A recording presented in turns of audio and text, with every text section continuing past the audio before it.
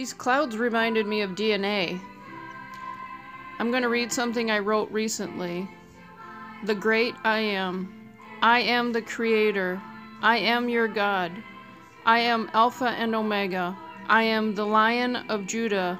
I am an all consuming fire. I am in you and in all things. I am the cornerstone. I am light. I am the Savior of the world.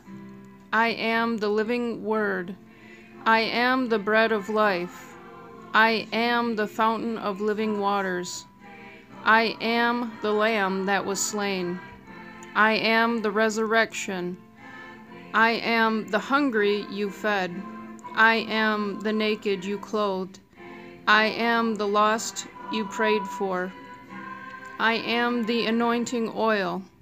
I am the groom. I am coming soon.